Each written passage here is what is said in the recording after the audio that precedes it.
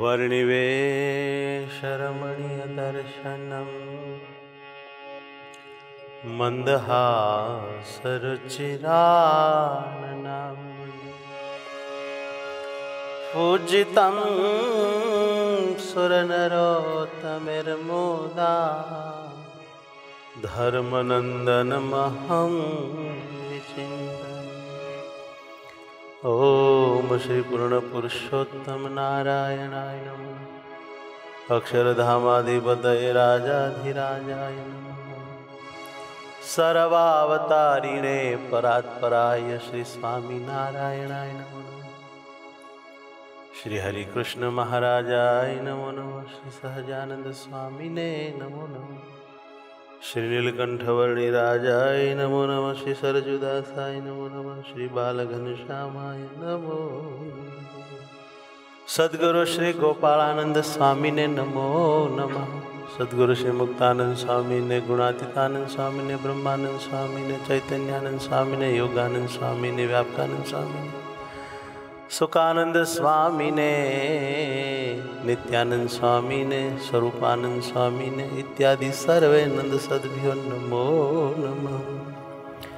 સદગુરુ આધારાનંદ મુને, મમ ગુરુ શ્રી રાધારમણ સ્વામીને, ભક્તરાજ દાદા ખાચરાય નમો નમ. સર્વમુક્તેભ્ય, પ્રગટ સર્વસાધુ હરિભક્તેભ્યો નમો વિક્રમ સંવત બે હજાર ઓગણસિત્તેર શ્રાવણ સુદ ચૌદશ મંગળવાર. તારીખ વીસ ઓગસ્ટ બે હજાર તેર. વાલા ભક્તો, સરકારી દફતરે આજે રક્ષાબંધન છે અને આજ રજા છે. આજના સદવિચારો. ઘણા લોકો પોતાની નબળાઈ છાવરવા પોતે કેટલા સ્ટ્રોંગ છે એ દર્શાવવા તોછડાપણાનો આધાર લેતા હોય છે. ઘણા લોકો પોતાની નબળાઈને છાવરવા, પોતે કેટલા સ્ટ્રોંગ છે એ દર્શાવવા તોછડાપણાનો આશ્રય લેતા હોય છે. હરગીજ ઠીક નહીં. તોછડાઈ કરવાથી આપણે સ્ટ્રોંગ છીએ એવું સાબિત થતું નથી. અક્કલ વિનાના છીએ એવું સાબિત થાય. વિવેક વિનાના છીએ એવું સાબિત થાય. અને નબળાઈને છાવરવાથી કશો ફાયદો હોતો નથી. નબળાઈને વળાવવામાં ફાયદો છે. એક તો નબળાઈ છે અને વળી સબળાઈ બતાવવી ખોટું તો છે જ. ઈસમે ઈમાનદારી તો હૈ નહીં. આવું કંઈક આપણામાં હોય તો આપણે આ વાતને જાણ્યા પછી સુધારી લેવું. આપણી નબળાઈનું લિસ્ટ રાખવું આપણે. કે આટલી આટલી મારામાં નબળાઈ છે. એને છાવરવા સારું ક્યારેય ટોછડાપણાનો આશ્રય ન લેવો. હું બહુ પાવરફુલ છું. હિંમતવાન છું. એવું બતાવવા સારું એવો દંભ કરવા સારું ટોછડાઈનો, વાયડાઈનો, આંકરાઈનો આશ્રય નહીં લેવો. એવું બતાવીને કામ શું છે? ટાણું આવશે? ત્યારે જે બધું હશે તે ખુલ્લે ખુલ્લું હવને દેખાશે. જેટલો દંભ કર્યો છે એ બધાના ધજાગરા ઉડી જાય આજ દિન સુધી કોઈનો દંભ રહ્યો નથી ને કોઈનો રહેવાનોય નથી.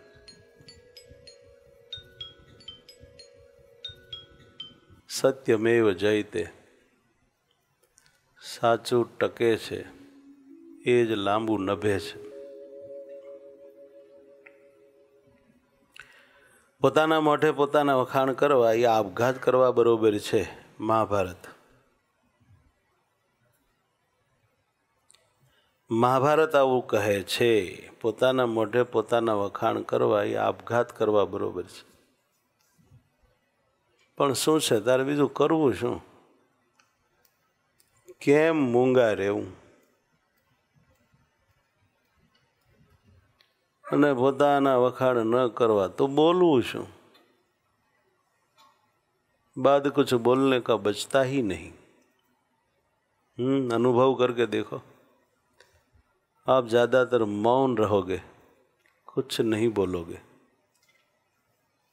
बोलने का हमारे पास हमने जो जो किया है, वही होता है। मगर महाभारत और शिक्षापत्री,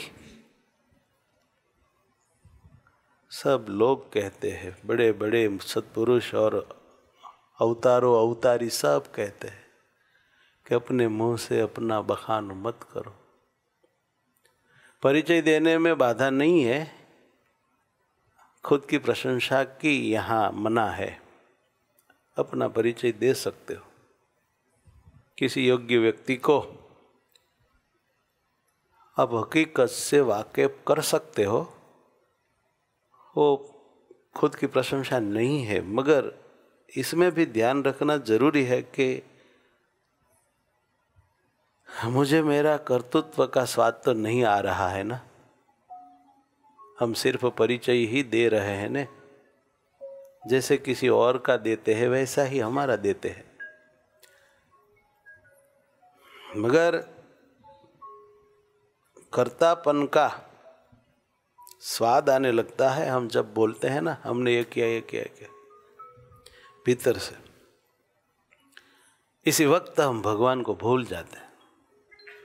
क्योंकि हमारे दिल में जब ऐसा हो जाता है कि ये मैंने किया मैंने किया, तब भगवान ने किया, ऐसा रहता नहीं है। वास्तविकता तो भगवान ने किया, वही है। हम जब हमारा बखान करते हैं ना, तब वास्तविकता से बहुत दूर निकल जाते हैं। जब हम ऐसा समझते हैं कि हमने कुछ नहीं किया, तभी हम वास्तविकता में है।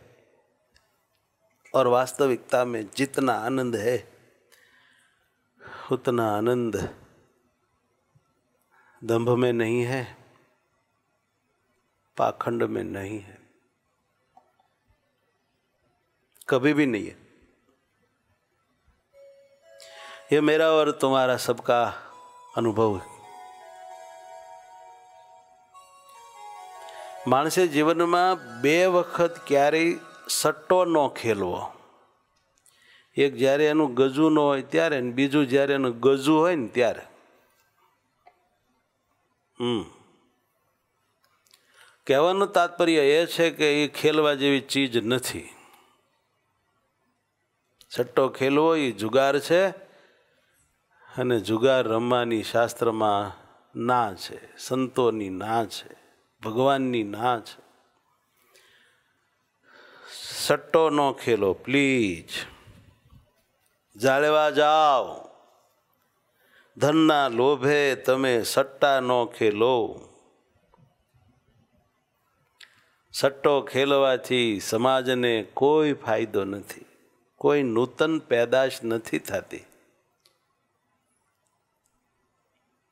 કોક ગરીબ થાય છે અને કોક ધનવાન થાય છે. ધનવાન હોય ગરીબ થાય ને ગરીબ હોય ધનવાન થાય, કાં તો ધનવાન હોય ઝાઝો ધનવાન થાય, ગરીબ હોય ઝાઝો ગરીબ થાય. એમાંથી કોઈને કાંઈ મળતું નથી. જુગાર એટલે સમય બગાડ્યાનો ધંધો. સમાજનું બગાડ્યાનો ધંધો. પોતાનું બગાડ્યાનો ધંધો. કુટુંબનું બગાડ્યાનો ધંધો. બુદ્ધિ બગાડ્યાનો, મન બગાડ્યાનો, જીવન બગાડ્યાનો ધંધો એટલે જુગાર, સટ્ટો. કદી ન કરો. આંકડા ન રમો, પ્લીઝ. એ સારું નથી. બંધ થઈ જવું કોઈ કરતા હો તો. આજથી પાણી લેવું, રક્ષાબંધનથી. હોય છે ઘણાને આદત. વિદેશોમાં તો ખૂબ આંકડા રમાય મોટા કેશીના હોય, સટ્ટાના, જુગારખાના. સરકાર માન્ય લાયસન્સવાળા. પાંડવો જુગારીમાં તો શું દિશા થઈ? તારે શું રાજ તો હારી ગયા પાંચ ભાઈ વચ્ચે એકનું એક બૈરું હતું એ હારી ગયા હા તાર આવી કઠણાઈ થઈ महाभारत केस शारीरिक उन्नति के लिए सदाचार परमावश्यक है मानसिक उन्नति के लिए सेवा परमावश्यक है और आत्मिक उन्नति के लिए त्याग परमावश्यक है। स्वामी शरणानंद जी,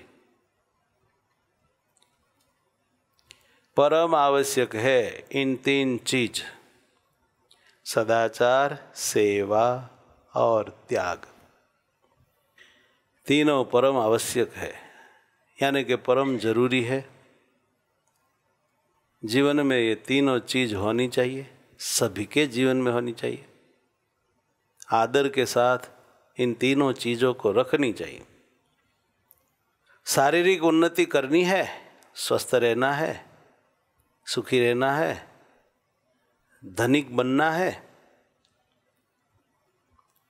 तब धर्म रखो।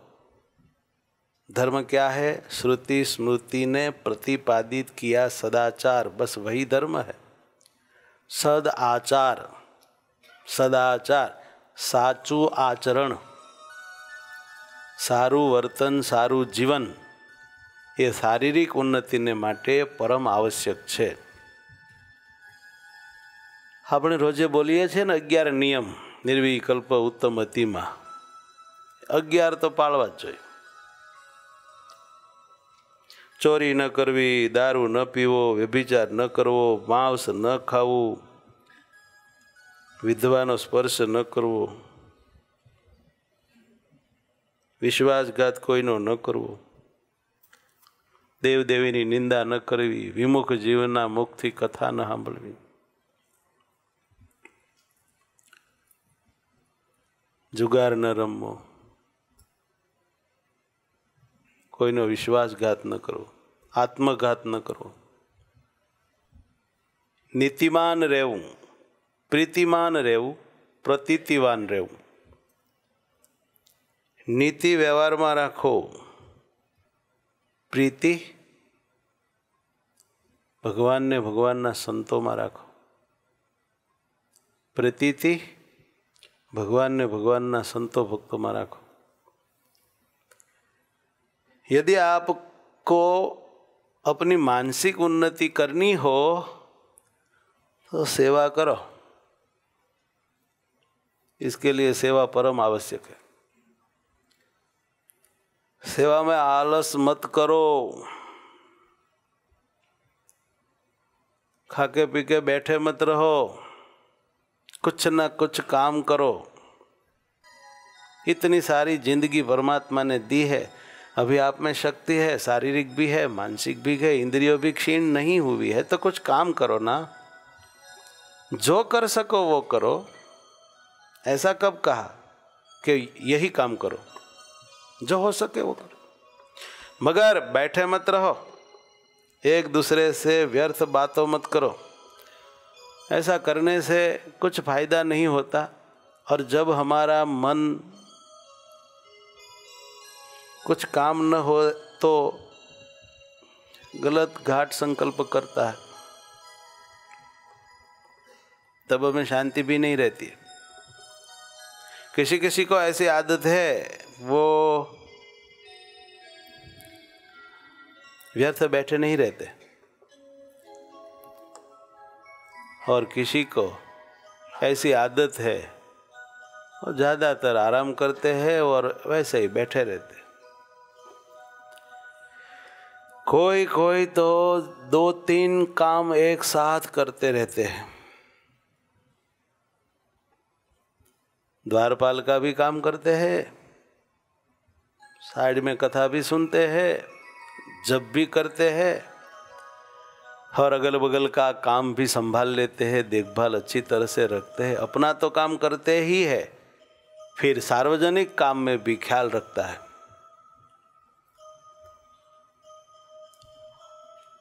ऐसे को बहुत आशीर्वाद मिलता है, प्रसन्नता मिलती है। आई बात दिमाग में કોઈ કોઈ કે તો વધારે પડતું ગડપણ માની લીધું છે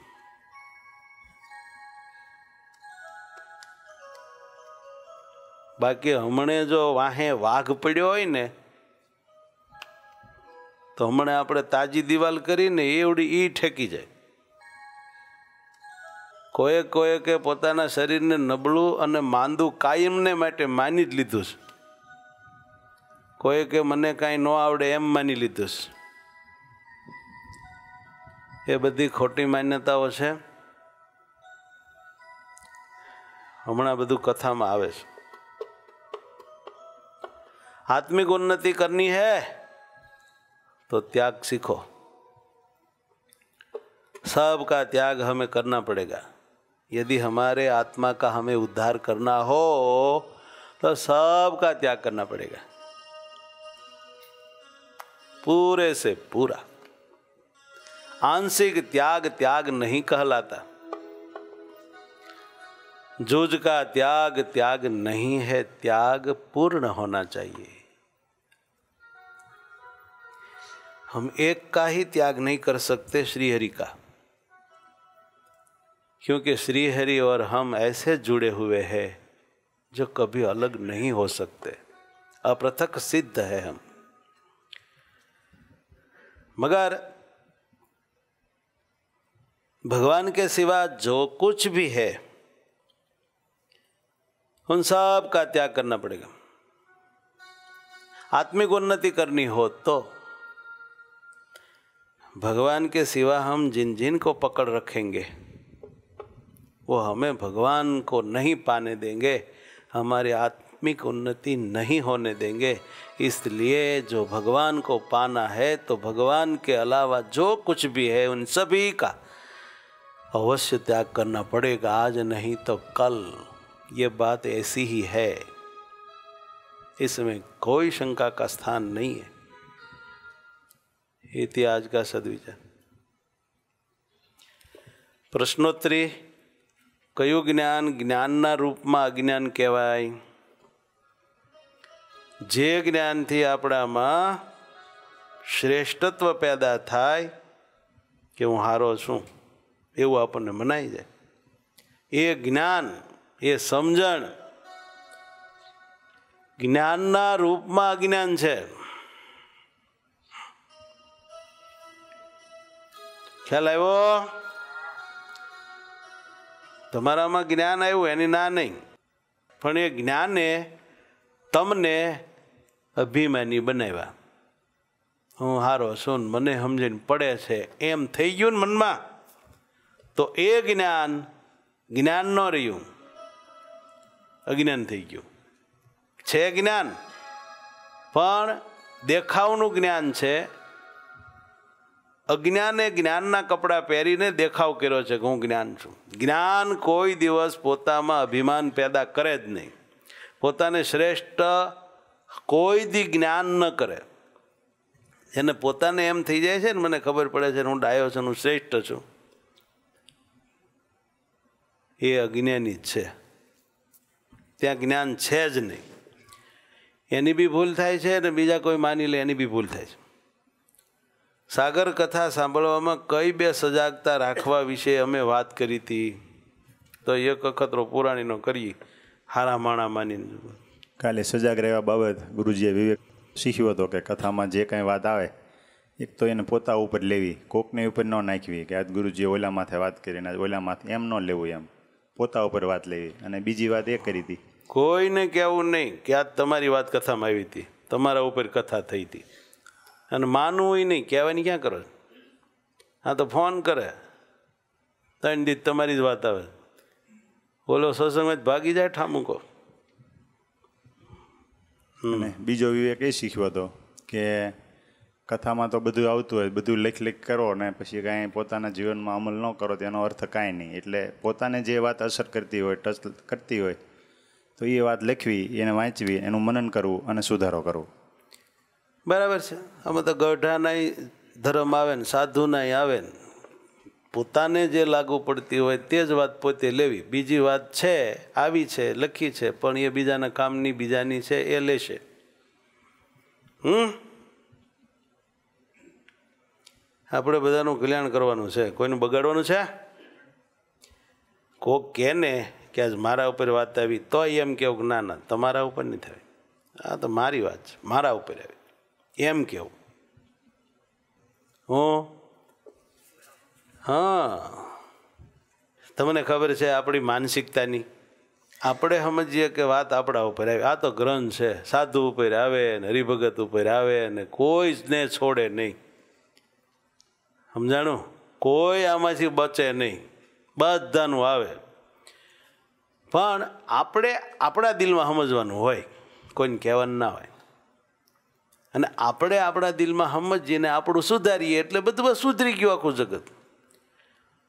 અને જ્યારે કોઈ કોઈને એમ કહે કે તમારી વાત આવ્યો ત્યારે એને બહુ પીડા અને દુઃખ થાય છે. થાય જ. એને એમ થાય છે ઘરે રે, બધા એવું જ માને છે કે બધી મારી જ વાત આવે છે. આવું થઈ જાય. કોઈ પૂછે ને, મારી વાત આવી હતી? તોય કહેવાય તારી તો આવી જ નહોતી. બિલકુલ એક શબ્દ નહીં. હોતું છે તારી વાત આવતી છે સાગરમાં? સાગર નવરું છે તારી વાત કરવા? ખોટું? આવ. હજી એવી પાત્રતા જ નથી કે તમારી વાત કોઈના મુખેથી કથામાં આવે એમ. એના માટે પૂન જોઈ. હમ? શું? તો પૂન હોય તો આપણી વાત આવે. બોલો. મોટા પુરુષનો અભાવ ક્યારે ન આવે? નરસિંહભાઈ આપો. મોટા પુરુષના હેતુ પર જો દ્રષ્ટિ હોય પણ કાર્ય પર દ્રષ્ટિ ન હોય તો અભાવ ના આવે. મોટાના આશય ઉપર ધ્યાન રાખવું કે એને આપણું ભલું કરવાનું તાન છે એટલે આ બધું કરે છે તો અભાવ ન આવે. પણ એના દિલના આશય સામું જોઈએ નહીં. અને ઉપલ્યો સ્વભાવને વ્યવહાર જોઈએ તો ભાવ આવે જ.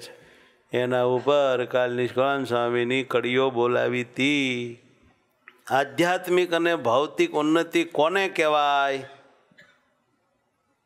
હા, બટુગ્રામને આપો. બટુગ્રામ બોલો. આધ્યાત્મિક ઉન્નતિ એને કહેવાય કે આપણે કોઈની જરૂર નથી. જરૂર ન રહે. જરૂર ન રહે અને એને કહેવાય ને ભૌતિક ઉન્નતિ એને કહેવાય કે આપણી બધાને જરૂર પડે છે. વાહ બટુકલાલ વાહ. લ્યો. મુંબઈ વાળા સભા જીત્યા. હમ? અહીંયા તો દેશ દેશના હરિભગત બેઠા છે. મુંબઈ સુરત આ તે. સમજ્યા? સુરતી છે અમદાવાદી છે મુંબઈ કરા છે. ભાવનગરના છે. કેટલા ગામના કેટલા દેશના હે? ભાત ભાતના છે. ખરું કે નહીં? વચનામૃતમાં આવે છે ને દેશ દેશના હરિભક્તની સભા ભરાઈને બેઠી હતી. ધર્મ અને અધર્મ કોને કહેવાય? જીવરામ રણિયાળા. મોટા પુરુષ જેને વખાણે છે સાધુ સમાજ એને ધર્મ કહેવાય છે અને જેને નિંદે છે સાધુ સમાજ એ અધર્મ કહેવાય છે. બસ. સારા મોટા પુરુષો જેને નિંદે યધર્મ વખાણે ધર્મ. પાકો? વાહ. અને એ મોટા પુરુષના લક્ષણો શું? ગમે એને થોડા મોટા પુરુષ કહી દેવાય. રણછોડ. મોટા પુરુષની કોઈ સેવા કરે કે ન કરે પણ તેને પોતાના પુત્રની જેમ રાખે એને મોટા વાહ વાહ રણુ વાહ. સાત્વિક ગુણ અખંડ રહે રજતમના વેગે કરીને ક્યારેય ન્યૂન થાય નહીં. સાધુમાં સત્વ ગુણ કાયમ રહે કે સૌને મિત્રવત જુએ, કોઈ સેવા કરે કે ન કરે, છતાં પોતાના પુત્રની સમાન જાણે. ભગવાન કે સુખ કર સુખી જેહા. આઈ વાત? ભગવાનના સુખે કરીને જે સુખ્યા હોય, જીવતા છતાં ગુજરી ગયા હોય એ વર્તન મેં દેખાય ત્યાં વર્તનમાં જણાય આવે. પદાર્થ હિત મન ક્ષોભ ન હોવે. જેને પદાર્થ માટે કાંઈ ક્ષોભ ન થાય. હરિવિન સબ દુઃખ રૂપ હી જોવે. ભગવાન વિના બધું દુઃખ રૂપ જોવે. બહુ કઠણ છે. મોટા પુરુષ થવા કાંઈ ના કાંઈ છોકરાનો ખેલ છે. તો જેને હોય ને એમ થઈ જાય છે હું મોટો પુરુષ છું. તે આ અડાડી લે લે. તારે ઊંચી ગાદીએ બેસે, મોટા થઈ જવાય છે. બધા લોકો મોટા કે એટલે મોટા થઈ જવાય છે. આ અડાડો લ્યો, આ છે આ માયલું માલકુર કાંઈ. કોકના ખોડે ખોડા કાઢી નાખવાના પ્લાન થતા હોય, મોટા પુરુષ એને કહેવાય. હે? કોઈક એને વિશે કંઈક બોલ્યું હોય તેની વાહે પડી ગયો હોય, મોટો પુરુષ કહેવાય. કાઢી નાખે બિચારાના ડૂસા હોય તેને. પાછા કહેવાય સમાજમાં એ મોટા હો. એને આ નથી લખ્યા. હે? તો એ તો મોટા પુરુષના મળ સમાન નથી. અનાયાસે જે ખાનપાનાદી મળે તેને ધર્મ અનુસારે જ ભોગવે. બોલો મોટા પુરુષનું લક્ષણ. ધર્મની શું મહત્તા કઈ હતી? પેલા રામકાકાના પો હેમતનગરના છે. અધર્મથી ઉઘાડી લે છે. સાબાશ અને દુઃખથી પણ. દુઃખથી પણ જી. ધર્મ તજી કરેલા સાધનો ફળીભૂત થતા નથી. પહેલી વાત આ, ધર્મના મહત્વની.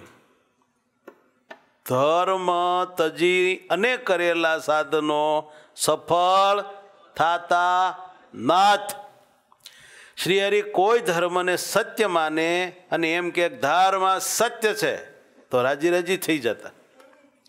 આ ધર્મની મહત્તા છે. જે ધર્મને રાખે છે તેની ધર્મ રક્ષા કરે છે. આ ધર્મની મહત્તા છે. જેટલું દુઃખ આવે છે તે અધર્મનું ફળ છે અને જેટલું સુખ થાય છે અને દુઃખમાં જેટલી રક્ષા થાય છે તે ધર્મનું ફળ છે. આ બાત દિમાગ મેં વાહ, શ્રોતાઓ, વાહ. આપ જેવા શ્રોતા મને મળ્યા છે એ જ મારા મોટા નસીબ છે. શ્રીયરીએ સંતોને માર્ગમાં ચાલવા બાબતે શું શિખામણ આપી? આપો અહીંયા આપો, નિરંજનદાસજી. મહારાજ એવું કીધું કે સંઘમાં બહેનો હોય માટે સંઘની સાથે ચાલતા નહીં, પણ અલગ. હા ત્યાગીઓએ સંઘ ભેળા બહેનો ભેળા હાલવો નહીં. સુખ નો આવે કોઈ નહીં, વિવેક વિના કોઈએ ચાલવું નહીં. અમે સૌના સુખાર્થે કહીએ છીએ. કેટલી અદ્ભુત વાત આવી લ્યો આવી વાત ક્યાંય ભાળી નહીં આપણે. કાલે ધોરાજીથી મહારાજ નીકળતા હતા ત્યારે મહારાજ હાથી ઉપર બેઠા. અને એ વખતે જે નગરયાત્રા નીકળી, એનું થોડુંક મારે વર્ણન સાંભળવું છે. મારા શ્રોતાના મુખથી. આ સાગર કથામાં હું જ વક્તા છું ને તમે જ શ્રોતા છો એવું નથી. તમે બી વક્તા છો અને હું બી શ્રોતા છું. તમે બોલો, એ મારે સાંભળવાનું? આપણો આ જ સંબંધ છે. આ લ્યો બ્રહ્મ સ્વામીને જ્યારે નગર યાત્રા નીકળી ત્યારે ધોરાજીના નરેશ હઠીસિંહભાઈ સોનાની અંબાડીવાળા હાથીને શણગારીને લાવ્યા. મહારાજે પણ સુવર્ણમય વસ્ત્ર પહેર્યા હતા. મહારાજ હાથી ઉપર બેઠા. ત્યારે હઠીસિંહભાઈ મહારાજને ચમર કરવા બેઠા. ત્યારે એભલ દરબાર હતા. એને પોતાના હાથી ઉપર નિત્યાનંદ સ્વામી ને ત્રણ સાધુ બેહાડ્યા. મુક્તાનંદ સ્વામીની ત્રણ સંતોને બેસાડ્યા. પછી બધા જીવા ખાચર અલૈયા ખાચર અમીર ખાચર સોમલા ખાચર સત્યવ્રત જેવા આ બધા કાઠી દરબારોએ એક એક એક હાથી ઉપર ચાર ચાર સંતોને બેસાડ્યા. વળી ઘણા દરબારો સો સો ઘોડા લાવ્યા હતા. મેના પાલખી રથ ઉપર સાધુ એના ઉપર બેસાડ્યા. વાહ. અને જ્યારે એ નગર યાત્રા નીકળી ત્યારે અટારી નગાસી ઉપર બેસીને બહેનો ફૂલેથી વધારતા વાહ વાહ. કેટલાક સાધુ સંતો ભગવાનનો જે હાથી હતો, એની આગળ પગપાળા હાલતા અને ભગવાનના દર્શન કરતા હતા અને કીર્તન ગાન કરીને રમઝટ બોલાવતા. આ હારામ હારો વીડિયો જે ઉતારવાનો હતો, એ બ્રહ્મસ્વામી રહી ગયો. પગપાળા હાલતા કે, સ્વામી, આવો હાથી ઉપર બેહો. તો કે, ના, હાથી ઉપર બેસી એટલે બીજાને દર્શન દેવાના થાય.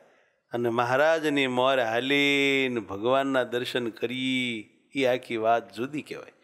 દર્શન દેવા હારા કે દર્શન કરવા હારા? શું વાત કરો છો? તમે બધા સમજણા છો?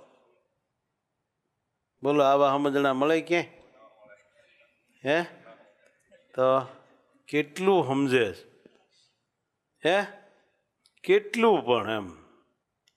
બોલો. આટલું કોઈ ન સમજે હો. પૂર અગિયારમો તરંગ પાંત્રીમો આવ્યા. ધોરાજીમાં પધરામણીએ જઈને નવાબને પત્ર લખ્યો તથા વડાળ આવ્યા.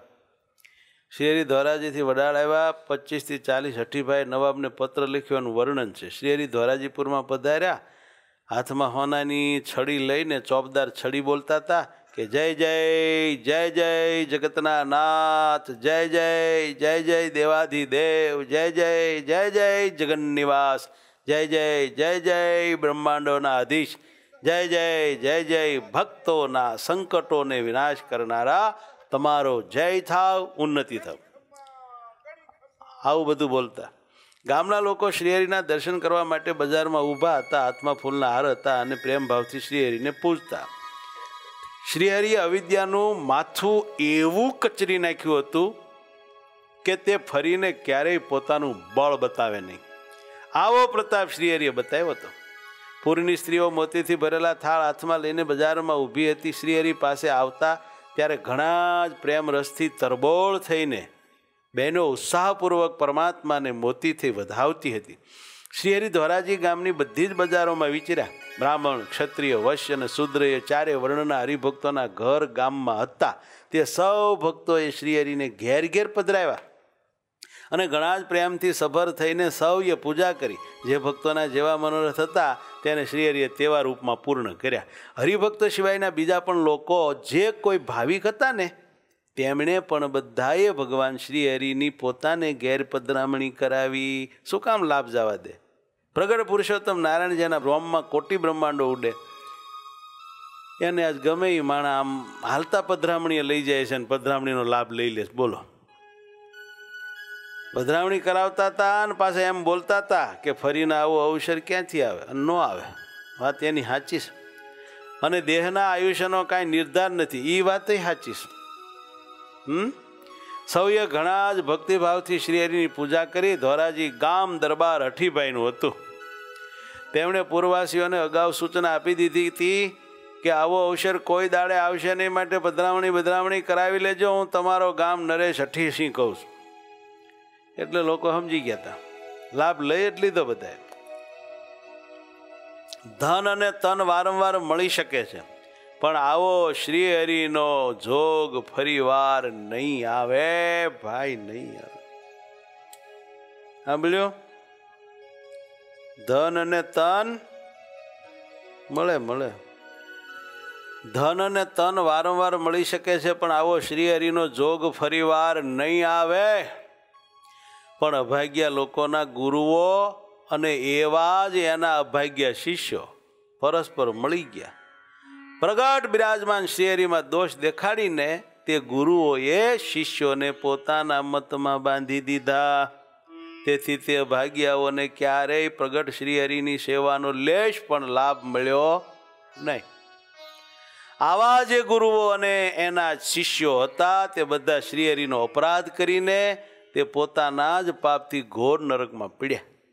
પણ પછીથી તો તેઓને ઘણો જ પસ્તાવો થયો હતો. મોક્ષનો આટલો સારો યોગ તેને ચૂકે તો કેટલું ખોટું કહેવાય. પણ એને તો એવો ચૂકી ગયા. ફરીવાર આવો યોગ ક્યાંથી મળે? એટલે તેમના મનમાં ઘણું જ દુઃખ થતું રહ્યું કે જે મુખથી કહી શકાતું નથી. આહા ચૂકી જવું એના જેવી કોઈ નબળાઈ નહીં હો मोक्ष अवसर गए चुक के फिर ऐसे कहाँ पाई दुख रहे उन्हें अपार ही मुख કહે નહીં જાય પણ પોતાના રાજા હઠીભાઈની સૂચનાને જેણે જેણે દિલથી માની લીધી તે લોકોએ તો ભગવાનની પધરામણી કરી લીધી, ભગવાનનો લાભ લઈ લીધો, સેવા કરી લીધી, એટલે અંતે તેઓ અક્ષરધામને પામ્યા. અને ત્યાંનું અનંત સુખ એમને પ્રાપ્ત થયું. પણ જે મતપંથમાં બંધાડેલા પાખંડી ગુરુઓએ અટવાડેલા, ચડાવેલા એવા માણસોએ તો એના દરબારે કીધું, તોય કાંઈ સાંભળ્યું નહીં. રહ્યા. શ્રી હરિવર દ્વારાજી પૂર્વાસીઓને આવું અપાર સુખ આપીને પછી પૂરની બહાર આવ્યા અને જય જયકાર કરીને ત્યાંથી ચાલી નીકળ્યા. રસ્તામાં વિનોદ કરતાં કરતાં શ્રી હરિ વડાળ નામના ગામમાં આવ્યા. ત્યાંના હરિભક્તોના હૃદયમાં આનંદ હમાતો નહોતો. સૌ શ્રીહરિની સન્મુખ આવ્યા. હરિભક્તો બધા ગુર્જર હુતાર હતા. તેમને શ્રીહરિના ઉપર બહુ યત હતું. આવીને ચરણ કમળમાં નમી પડ્યા. અને જે ફુલાર હતા તે પહેરાવી દીધા. શ્રીહરિના દર્શન કરીને સૌ ગુલતાન થઈ ગયા. સૌને અપાર શોભાયુક્ત સ્વરૂપના દર્શન થયા. જ્યાં બધો સંઘ ઉતર્યો હતો તે સ્થળે સૌ ઉમંગ ભર્યા આવ્યા.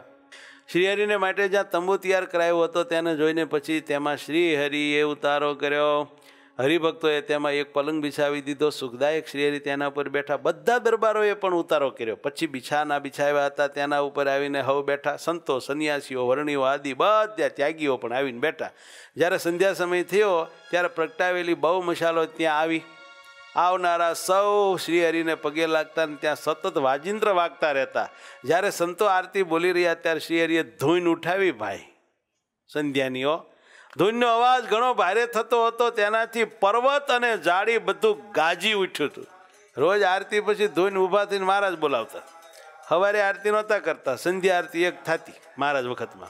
શ્રીહરિ જ્યારે ધૂન કરી રહ્યા ત્યારે તેમણે સૌ સંતોને નમસ્કાર કર્યા. મહારાજ ધૂન બોલી રહ્યા ને પછી સંતોને નમસ્કાર કરતા મહારાજ. અને જય સ્વામિનારાયણ બોલતા. શ્રીહરિની આગળ સંતો પણ ઘણીવાર સુધી જય જય જય જય જય જય શબ્દ ઉચ્ચારી રહ્યા હતા. વારંવાર બંદૂકો ફૂટતી હતી. પાળાઓ દરબારો હોય ને એ ભડાકા કર્યા કરે. તેનો ધ્વનિ ઘણો થતો હતો. મેઘના કડાકાની જેમ વારંવાર પર્વત અને ગામ તેના પડઘાથી ગાજી ઉઠતું હતું. કૌ દિન સમે એસે ન સુને કૌ જીર્ણ ગઢવાસી, જે હું પરસ્પર સો બોલદ ભય આશ્ચર્ય હોત કહા એવું?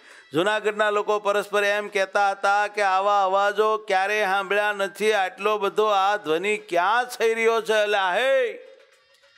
બોલો, વડાળ ગામમાં ભડાકા થાય ને જુનાગઢમાં સંભળાય જુનાગઢ ધંધણિયું ગિરનાર ગાજો કે આ ભડાકા ક્યાં થાય? આશ્ચર્ય થાય છે કે આવા અવાજો ક્યાં થાય? શ્રી હરિએ ધોરાજીથી જ બે ઘોડેસવારોને એક પત્ર આપીને જુનાગઢના નવાબને ખબર આપવા મોકલ્યા હતા. દરબાર હઠીભાઈએ નવાબ હેમદ ખાનને પત્ર લખ્યો હતો કે, મારા ગુરુ સ્વામિનારાયણ આ તરફના બધા પ્રદેશોમાં વિતરે છે અને હવે તમારા નગર જુનાગઢમાં આવે છે. હું તેમની સાથે છું અને બીજા કાંઠી દરબારો પણ તેમની સાથે છે. જોજો, કોઈ કાંઈ ઉપાધિ કરે એવા નથી. મોટા શાહુકાર કરતાં પણ કરોડ ગણા હારા છે, હારા. તેમના સંઘના જે માણસો છે, તેમની પાસેથી કોઈ પણ જાતનો તમારે કર લેવો યોગ્ય નથી. આવા હારા માણાનો કર ન લેવાય. વળી સ્વામિનારાયણ ભગવાનની હારે આવ્યા છે. અમથા નથી આવ્યા. તેઓ કોઈ પણ જાતનો કર લેવાને લાયક જ નથી. તે વાત હું નિસંદેહપણે કહું છું. જો તમે નાગરોનું કહ્યું માનશો ને, તો તેઓ કરોડ જાતના ઉત્પાદ કરાવશે. સાંભળ્યું ને હામદ ખાન, જગતમાં જે જે ઉત્પાદ થાય છે તે બધાના મૂળમાં મોટે ભાગે જે ખરાબ નાગરો હોય છે તે જ રહ્યા હોય છે. નાગરો સારા પણ ઘણા હોય છે, પણ અમુક ખરાબ હોય એ ઉત્પાદનોનું મૂળ બન્યા હોય છે ક્યાંક ક્યાંક. તે બંને બાજુથી ધન લેવો ખરાબ તો એવા જ હોય ને, કોઈને ક્યારેય ખબર પડવા દે નહીં. તેઓ ખરેખર ધનના લૂંટારા છે, પણ અબ્દલ શાહુકાર બની બેઠા છે. જેટલા રાજાઓ કહેવાય છે તે બધાને તે લૂંટી ખાય છે. વફાદાર અને હિતકારી ચાકર થઈને નામું લખે, નામું લખવામાં ક્યારેય ફેર આવવા ન દે, બધી વાતને સચોટ દેખાડી દે, એવી તો તેમાં ચતુરાઈ રહી છે. અને પાછળથી ખોતરી કાઢે બધું. નામું એમનામ ને વાંહેથી બધું એમનામ. ઘોડે ઘોડેસવાર નવાબની પાસે ગયા, ઉમંગથી તેમને પત્ર આપ્યો. અઠીસિંહભાઈનો નવાબે તે પત્ર વાંચ્યો. મનમાં ખૂબ રાજી થયા. નવાબે તરત પરવાનગીનો પત્ર લખી આપ્યો. આપ ચાહે તેટલા માણસો લઈને ખુશીથી જુનાગઢમાં આવો. તેમાં કાંઈ સંદેહ શંકા રાખશો નહીં. દરબાર અઠીભાઈ, મુજાહો નહીં. જુનાગઢ નરેશ હેમદ ખાન આપને આમંત્રણ પાઠવું છું. લ્યો, આવો અઠીભાઈને પત્ર લખી આપ્યો. વળી લખ્યું, દરબાર અઠીભાઈ અમારા ઉપર જે પત્ર લખ્યો છે, તેનાથી અમે બધી વિગત જાણી છે. જો ખબર ન હોય, તો શંકાથી ઉત્પાદ થઈ શકે છે. સારું થયું તમે બધી ખબર કરી. હા, રાજાઓની આવી રીત હોય છે કે ખબર ન હોય તો ઉત્પાદ થાય. આપ તો બધી રીતને જાણો જ છો, આપ બી રાજા છો. હું વધારે શું લખું? નવાબ અહેમદ ખાને, રામજી મહેતા અને બીજા અંબારામ મહેતા. તેમને પત્ર આપ્યો અને શ્રીહરિની પાસે તે બંનેને મોકલ્યા. તેઓ વડાળ ગામ આવ્યા. તે બંને શ્રીહરિના ચરણોમાં પડ્યા અને નવાબનો પત્ર આપ્યો. તે વાંચીને શ્રીહરિ ઘણું પ્રસન્ન થયા અને બોલ્યા કે, આપણું કામ સિદ્ધ થઈ ગયું. પછી તો જે સ્વામિનારાયણ ભગવાન કહેવાય છે, તેઓ કાંઠીઓને સાથે લઈને જુનાગઢ આવે છે. એવી ખબર નાગરોને પડી. પડી ખરે ને? કે એક સ્વામિનારાયણ ભગવાન થયા અત્યારે પૂજાય છે. અને એ બધાને લઈને અહીં આવે છે. હા, કે આપણા જુનાગઢમાં આવે છે? આવે છે ને? ન આવે? કેમ ન આવે? બધા નાગર ભેળા થયા અને પછી નવાબ સાહેબ પાસે હવ ગયા. હફ લઈને. અને તેમને એવી ચાનક ચડી ગઈ, એવી ચાનક ચડી ગઈ. તેવી વાત ત્યાં એમણે પછી જાહેર કરી. લે હવ, હવનું કામ કરે. એને જેવી ચડી એવી ન્યા જઈને જાહેર કરી. નવાબને વાત કરી. એ નામે પાંત્રીસમો તરંગ સમાપ્ત થયો. તરંગ છત્રીસમો. એકથી વીસ નિર્માનિતા વગેરે ગુણોની મહત્તા, એકવીસથી સત્યાવીસ અષ્ટાંગ યોગથી પણ સત્સંગ અધિક છે એ વાત કરી. અઠ્યાવીસથી એકત્રીસ શ્રીહરિનું વાકચાતુર્ય અને બત્રીસથી ઓગણચાલીસ સંતોની આજ્ઞા પાલનમાં ડટતા વગેરે આ તરંગમાં વાત છે. સહનશીલતા નિર્માનીપણું ઇત્યાદિની ભગવાને આમાં બહુ સારી વાત કરી છે. સમજાણું? આખો તરંગ ઉપદેશનો છે. શ્રી હરિવરે સૌ સંતોને સભામાં બોલાવ્યા અને સૌને કહ્યું, સાંભળો, આપણે જઈએ છીએ જુનાગઢ. ત્યાં બધાય હરખા હોય એવું ન હોય. મોટું શહેર છે અને ગિરનારની તળેટીમાં કાંઈક બાવા સાધુઓ અને સંપ્રદાયો પોતાના આશ્રમો અખાડાઓ સાથે પડ્યા છે. એણે કરીને જુનાગઢમાં એનો પ્રભાવ હોય, એના માણસો હોય, આપણને નવો સંપ્રદાયવાળો આ આવ્યો એમ જાણીને કાંઈક બોલે, અપમાન કરે, ધીરજ રાખવી. વિમુખ લોકો ચાહે તેવું બોલે, પણ આપણે રાજીપે એને સહન કરી લેવું. બોલવું નહીં. મોટપ મેં મોટપ અધિક યહ. સહન શક્તિ જો જેતી, સુખ સનકાદિ કરીતી કો ગ્રહણ કરના હિતેથી જેનામાં જેટલી સહન શક્તિ હોય તે તેથી સૌથી વધારે મોટપ કહેવાય છે. મોટપ મેં મોટપ અધિક યહ. મોટામાં મોટી મોટપ કઈ સહન શક્તિ જેટલી. માટે સુખદેવજી અને સંકાદિકોની સહન કરવાની રીતને હવે ગ્રહણ કરવી. જેણે સંસાર ત્યાગ કર્યો હોય, તેનો મુખ્ય ધર્મ તો નિર્માનીપણું છે. લો, સાધુ સંતોએ તો હાવ નિર્માનીપણું રાખવું મેન ધર્મ. નિર્માનીપણા વિનાનો ત્યાગ તો શરમજનક છે. કેમ જે તમે ઘર છોડ્યું, સ્ત્રી છોડી, પૈસા છોડ્યા, બધું છોડ્યા માન ન છોડ્યું. હા તો બહુ ભૂંડું. હમ? બોલો. સ્વામી શરણાનંદજી એક જગ્યાએ એવું કીધું કે ચાર દિવાલની વચ્ચે બેહીને ત્યાગી શું ખાક થઈ ગયા? અહમ મમત્વ મેલો ત્યારે ત્યાગી થાવ. નિર્માનીપણા વિનાનો ત્યાગ તો શરમજનક છે. ગીતામાં સંતોનો પ્રથમ ગુણ નિર્માનીપણું કયો છે જે નિર્માની સંત હોય તે તો અતિ દુર્લભમાં દુર્લભ છે. નિર્માની સંત ભગવાનને એટલા બધા વાલા છે, એટલા બધા વાલા છે, તેના જેટલા તો લક્ષ્મીજી પણ ભગવાનને વાલા નથી. એટલે તો ભગવાન બોલ્યા, લક્ષ્મીજી અર્ધાંગના મારી, તે મારા સંતોની દાસી રે. બોલો, કારણ કે સંતો નિર્માની અને લક્ષ્મીજી તો લક્ષ્મીજી છે. એ તો કોક દાડો સણકોય કરે. હો? સંતો જેવા નિર્માની, એવા માં લક્ષ્મી નિર્માની નહીં. સંતો તો હાવ ગરીબડા. ભિક્ષાવૃત્તિ કરી ખાનારા ભિક્ષુ. શેનું માન ભાઈ? અમારે હું માન રાખવું છે, હું અમારી પાસે? અને લક્ષ્મીજી તો ખુદ લક્ષ્મીજી. એની તો વાત ન થાય. એ જેને ઘરે જાય, એ અભિમાની થઈ જાય. એવો એનો પ્રતાપ.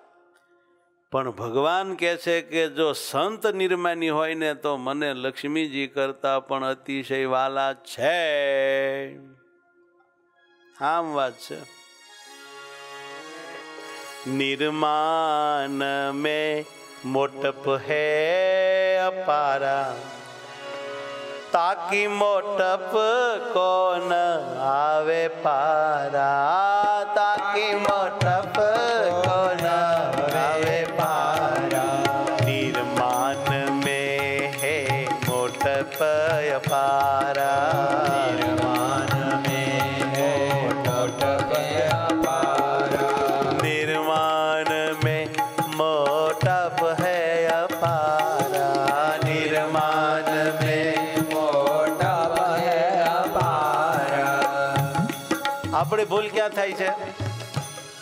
નિર્માનીપણું એટલે આપણે હાવ નિમ્નપણું સમજીએ છીએ, હલકાઈ સમજીએ છીએ, દુબળાઈ સમજીએ છીએ, ફોશીપણું સમજીએ છીએ.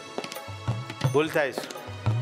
નિર્માનીપણું છે એ જ સુરવીરપણું છે, નિર્માનીપણું છે એ જ બુદ્ધિમત્તા છે, એ જ હોશિયારી છે, એ જ મોટાઈ છે, એ જ લાભદાયી છે, એ જ મહાનતા છે, આમ સમજવું જોઈએ. એ કાંઈ પોચીપણું નહીં.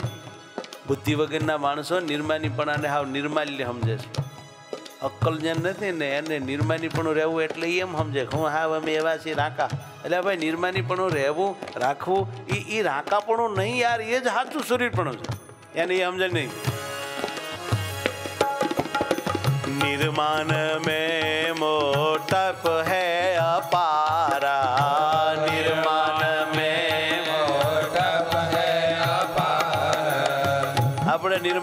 નિર્માણીપણામાં દીનપણામાં, દાસપણામાં, ગુલામીપણું કરવામાં મોટે સમજીએ છે.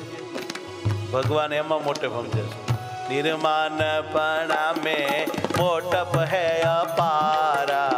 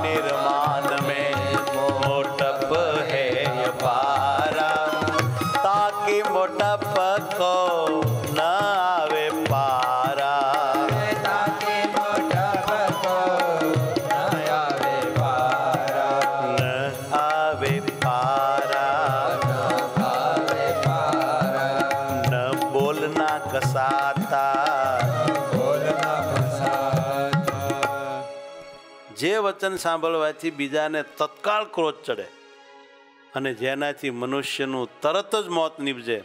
એવા વચનો સંતો ક્યારેય મુખમાં ન લાવે. નહીં બોલો જે વાત કરવી તે શાસ્ત્રની રીતે મર્યાદામાં રહીને જ કરવી. મુખથી કોઈનું ઘસાતું ક્યારેય બોલવું નહીં. ભગવાન શ્રી હરિની આ વાત છે. વડારથી જુનાગઢ જાતા મહારાજે ઉપદેશ આપ્યો કે મુખથી કોઈનું ક્યારેય ઘસાતું બોલવું નહીં. કેટલો સરસ પાઠ આપ્યો, બોલો. સુખદેવજી અને સનકાદિકો કેવું બોલે છે? સૌએ તેવું બોલતા શીખવું જોઈએ. શીખ્યા વિના બોલતા આવડે નહીં. વાત કરીને તો લોકો કરોડોનું ધન ભોગવે છે. વાત દાયો માણા ભૂખ્યો ન મરે, ગરીબ ન રહે, એને બંગલા થાય. વાત કરતા આવડે તો માલા માલ થઈ જવાય.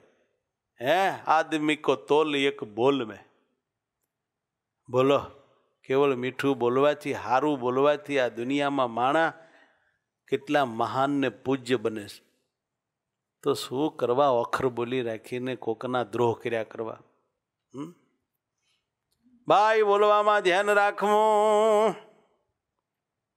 વાત તો એક વશીકરણ મંત્ર કહેવાય છે. વ્યવહાર કરતા મોક્ષની વાત વધારે મહત્વપૂર્ણ છે. શીખ્યા સિવાય ક્યારેય કંઈ આવડે નહીં. ન આવડે વ્યવહાર કે ન આવડે મોક્ષની વાત. પછી તે લૌકિક વ્યવહાર હોય કે મોક્ષની રીત હોય પણ તે તો બધી શીખવી જ પડે છે. હે? વાત સોવશીકરણ મંત્ર કહાવે. વ્યવહાર સે મોક્ષ દે કરહાવે सिख बिन बात आवे नहीं कब हूँ लोकर मोक्ष की रीत जो सब ही વાત સો વશીકરણ મંત્ર કહાવે ઘણા માણસને વાત કરતા બહુ સરસ આવડે બહુ સરસ વાત અટવાય જ નહીં કોઈ કામ અને ઘણા વાતે એ વાતે બગાડે. એવું ઊંધું ઊંધું મારે. શીખવું જોઈએ વાત કેમ થાય? પોપટ અને મેના પક્ષી કહેવાય તેઓ પણ બોલતા શીખે છે. ત્યારે કેવી સુંદર બોલી બોલે છે. એટલે બધી જ બાબત શીખ્યા જેવી છે ટૂંકમાં. વ્યવસ્થિત રીતે શિક્ષણ લીધા વિનાનો મનોશ હોય તોય શું? મનુષ્ય હોય તોય શું? વ્યવસ્થિત શિક્ષણ લીધા વિનાનામાં કાંઈ દમ ન હોય. તેની કોઈ કિંમત નથી કરતું ભાઈ. અર્થાત તેનો આદર થતો નથી. તે મનુષ્ય ઘડ્યા વગરના પથ્થર જેવો છે. તેથી મનુષ્ય હોવા છતાં તે શોભતો નથી. આ જગતમાં જે કાંઈ દેખાય છે તે બધું સુધાર્યા વિના કાંઈ સુધરતું નથી. આ જગતની રીતે જ એવી છે કે જો કોઈ વ્યક્તિ કે વસ્તુ સુધારી ન હોય તો તેમાં કોઈ હેત કરતું નથી. વ્યક્તિને સુધારવો પડે. વસ્તુ સુધારવી પડે. બોલો. આખું જગત જેમ વ્યવહારને સુધારવા માંડ્યું છે, તેમ સત્સંગને સુધારવા માટે સંતોએ તત્પર રહેવું જોઈએ. જોયું? તમે બધા સુધરવા માટે આવ્યા છો, તેથી જ અમે આવી વાત કહીએ છીએ. ખપ વિના વાત થઈ શકતી નથી એવું પ્રત્યક્ષ દેખાય. તમને ખપ છે કહેવાય, બાકી ન કહેવાય. ખોટું લાગે. જો આપણે પોતે સુધરી જઈએ, તો સત્સંગને આપણે સુધારી જ રહ્યા છીએ. એ વાત સમજવી પાછી. પોતે સુધરવું નહીં, સત્સંગને સુધારવા હાલી નીકળવું. હે? મોટી મોટી કથા ને મોટા મોટા આયોજન ને મોટી મોટી સમિતિઓ ને મોટી મોટી રેલીઓને આમ થવું જોઈએ તેમ સુધરવું જોઈએ. ભાઈ, તમે સુધરો એટલે બધું સુધરી ગયું. સત્સંગ અને સત્સંગની વાત દર્પણના જેવી છે. જે જેવું વર્તતો હોય, તેવું તેનું વર્તન દેખાડી જ દે. નિર્માનીપણાનો ગુણ શીખ્યા વિના જેટલી કસર ખામી રહી ગઈ હોય તે તરત જ અહીં દેખાઈ આવે તેમાં કોઈ પણ પ્રકારનો દંભ ઢાંક્યો રહેતો નથી. વિવિધ પ્રકારના રસ જ્યારે ભોગવવા મળે ત્યારે તેમાં નિસ્વાદીપણું ઢાંક્યું પણ ઢંકાય નહીં. તેમ કોઈ પોતાને વારંવાર જાણી જોઈને ખરાબ શબ્દ કહે ત્યારે નિર્માનીપણું કેવું છે? તે દેખાય આવે એ દબાય, હું દબાઈ રે નહીં. જેના ઉપર મનમાં વધારે પડતું હેત હોય, તેનો જ્યારે જોગ થાય ત્યારે સ્નેહ દેખાય આવે. બાપા, સમજ્યા? જોગ થયા વિના ક્યારેય ખબર પડે નહીં. ધનનો જ્યારે જોગ થાય ને ત્યારે ખબર પડે કે નિર્લોભીપણું કેટલું છે ને કેવું છે, હે? ત્યારે તરત રમત થઈ જાય. એકાંત સ્થળમાં સ્ત્રીનો યોગ થઈ આવે અને તે સમયે પણ તે સ્ત્રીમાં માતા જેવી બુદ્ધિ રહે, શુદ્ધ ભાવના રહે, ત્યારે તે ખરું દઢ નિષ્કામ વ્રત કહેવાય. પ્રસંગ પડ્યા સિવાય ક્યારેય ખબર પડે નહીં કે આપણે નિસ્વાદી છીએ, નિર્માની છીએ, નિર્લોભી છીએ, નિસ્નેહી છીએ, ક્રોધ વગેરેના છીએ. આમથી આમથી ખબર પડે. રાત દિવસ નિયમરૂપ કિલ્લામાં રહેવું અને નિષ્દિન આવી વાતો શીખતા રહેવું અને અષ્ટાંગ યોગ તો ઘણો કઠણ છે. તે ત્યાગી સિવાય તેનો નિભાવ થાય નહીં, તે ટકી શકે નહીં. ત્યાગીઓ છે ને અષ્ટાંગ યોગ નિભાવે. જેને શરીરનો અતિશય અભાવ હોય તેનાથી જ અષ્ટાંગ યોગ સાધી શકાય છે. એવા સંત માઇક સુખ દુઃખોના પ્રસંગોમાં દુઃખી થઈ જતા નથી. માનતા જ નથી એવા માઇક સુખ દુઃખને. હા? દેહના અભાવ રાખીને જે રહ્યા એ યોગ શીખી શક્યા. અને હર્ષે શોકમાં લેવાઈ જતા નથી. એટલો અષ્ટાંગ યોગનો લાભ કહેવાય છે. જેટલા શરીર સંબંધિત સુખ કહેવાય છે, દુઃખ કહેવાય છે, તે અષ્ટાંગ યોગથી તરી જવાય છે. અષ્ટાંગ યોગ તો તુંબડાની કોટીનો ગણાય. હવે અષ્ટાંગ યોગની મેલ પડ્યો અને મહારાજ હવે ભગવદ આશ્રયને વખાણે છે. અષ્ટાંગ યોગ તો તુંબડું કહેવાય. તુંબડાથી નાની નદી તરી શકાય. તેમ અષ્ટાંગ યોગથી તુચ્છ સુખ દુઃખાદીને પાર કરી શકાય છે. પણ મૃત્યુનો સમય તે તો મહાસાગર જેવો છે. તે વાહન વગર તરી શકાતો નથી તુંબડા બુમડા બાંધે. સત્સંગ રૂપ વાહન દ્વારા જ મૃત્યુના મહા દુઃખને પણ તરી શકાય છે.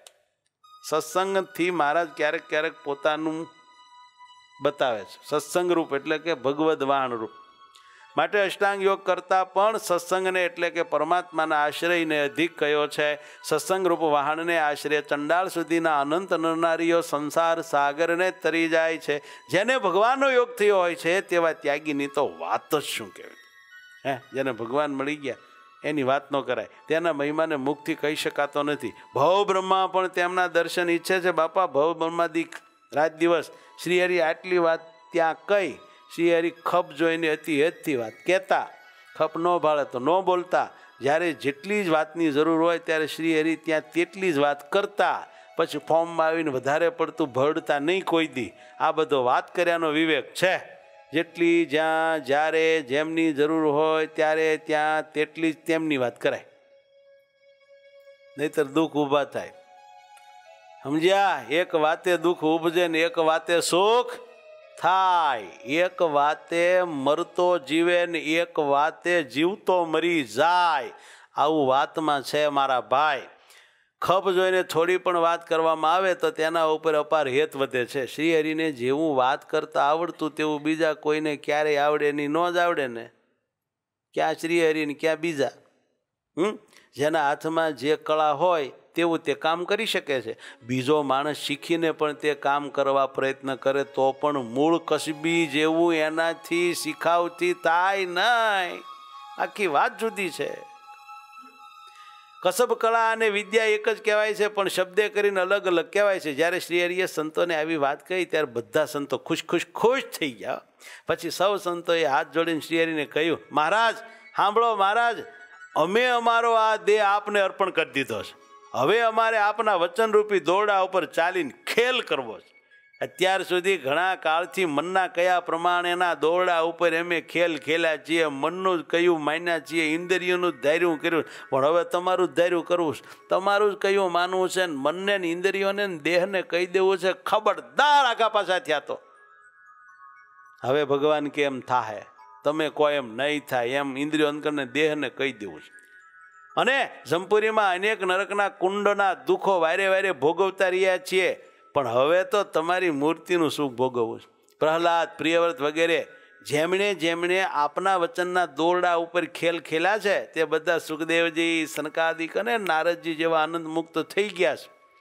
તે બધાને અક્ષરધામનું સુખ મળ્યું છે. ફરીને તેમને ક્યારેય દુઃખ વેઠવું પડ્યું નથી. મોટા મોટાને કેમ જે તેમણે તમારી આજ્ઞા પાળી એટલે થઈ ગયો બેડો પાર.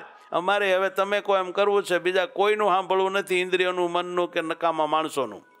અમે અમારા કાનથી તેમના સુખને સાંભળ્યું જ જે લોકો તમારા આનંદને પામ્યા છે એની બધી વાત સાંભળી છે, તે પછી અમારું મન પણ સત્સંગમાં લોભાણું છે ને તમે કોઈ એમ જ કરવું છે. બીજી વાત નહીં. શ્રી હરિએ સંતોના આવા પ્રેમ ભર્યા વચન જ્યારે સાંભળ્યા ને, ત્યારે તો ભગવાનની છાતી ગજ ફૂલ્યો સ્વયં ભક્ત વત્સલ અને ભક્ત પ્રતિપાલક છે, તેઓ તે વચન સાંભળીને ખુશ ખુશ થઈ ગયા. પછી શ્રી હરિએ સૌ હરિભક્તોને કહ્યું, હરિભક્તો તમારે કોઈએ કાંઈ રાજપુરુષ શસ્ત્રધારી કે પંડિતની સાથે વાદ વિવાદ કરવો નહીં. હવે ભગતોને પકડ્યા. હા, જ્યાં હોય ને બાયું છોડાવો છો, બે શ્લોક આવડે ને બે ચોપાઈ આવડી એટલે સીધો વાદ વિવાદ કરો છો. ખબરદાર કોઈની યારે વાદ વિવાદ કર્યો છે તો? કોઈ રાજપુરુષ યારે માથાકૂટ નહીં કરવાની? હા. કરાય આપણી ટિકિટ લીધી હોય ને ત્યાં એસઆરપીના માણસો બેહી ગયા હોય. ન બોલાય, હેઠે બેહાય. તો ગોળિયટ ન દે, પણ બંદૂકનો કંઠો મારે તોય આપણે તો દવાખાને જવું પડે. શસ્ત્રધારીનું અપમાન ન કરાય. આવું બધું હરિભગતને મહારાજ શીખવાડે છે. પછી મહારાજ કે, હરિભક્તો, જાણી જોઈને કોઈ સ્ત્રી સાથે પણ વાદ વિવાદ કરવો નહીં. કેમ જે સંભવ છે, એનાથી કોઈ મિથ્યા અપવાદ નાખે અને તેનાથી મરણ પણ થાય ત્યાં સુધીનું થાય. શ્રી હરિ ભક્તોને જે જે આજ્ઞાવચન કહેતા હતા, તેને સૌ બરાબર પૂરી રીતે માનતા, તેનાથી શ્રી હરિ તેમના ઉપર ઘણું પ્રસન્ન થયા. સત્સંગની તો વાત જ શું કહેવાય? ભગવાન વાત કરે, બધા સાંભળતા. અદ્ભુત વાતો. ઇતિ શ્રી સહજાનંદ સ્વામી શિષ્ય સિદ્ધાનંદ મુનિ વિરચિત શ્રી હરિચરિતામાં સાગરના એકાદશ પૂર્વમાં સહનશીલતા અને નિર્માનીપણું આદિ પંચ વર્તમાનની વાત કહીએ નામે છત્રીસમો તરંગ સમાપ્ત થયો. સહજાનંદ સ્વામી મહારાજ.